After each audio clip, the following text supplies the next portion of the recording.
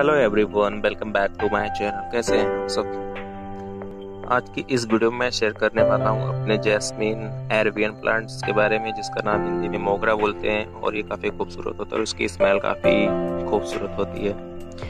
और इसको मैंने एक गमले में लगाया है, ये ऑयल कंटेनर जिसमें मैंने इसको लगाया है। और इसकी ग्रोथ काफ़ी अच्छे तरीके से ग्रो कर रही है, और मौसम भी काफ़ी अच्छा है, और ये मेरा आप देख सकते हैं जैस्मिन प्लांट्स काफ़ी फूल खिले हैं ये तो अब ख़त्म होने वाला है और ये सारे नए बर्ड्स हैं इसमें सारे फूल लगे हुए हैं। और इसकी खुशबू इतनी तेज़ होती है कि आप इसकी खुशबू देख लें तो सुन लें तो दिमाग और सिर जो है सही हो जाता है।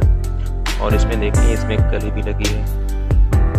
इसको मैंने परचेस किया था अपने नर्सरी से तो मैंने इसे लगाया है। आप बरसात में भी लगा सकते हैं इसमें और इसमें क्या फर्टिलाइज़र डालते हैं और क्या सब डालते हैं इसकी वीडियो में आपको नेक्स्ट में तो बताऊँगा। अभी तो मैं सिर्फ़ इसके पावर और इसके पौधे के बारे में बताने वाला हूँ।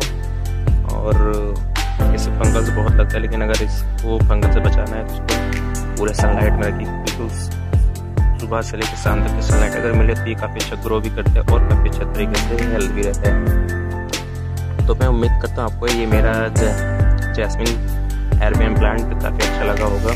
आप इसको कई नाम से पुकार सकते हैं, क्योंकि मुझे दो नाम पता है एरबियन जैसमिन और एक मोगरा कुछ लोग तो इसे बेला भी कहते हैं, लेकिन ये बेला नहीं है बेले का फूल अलग होता है।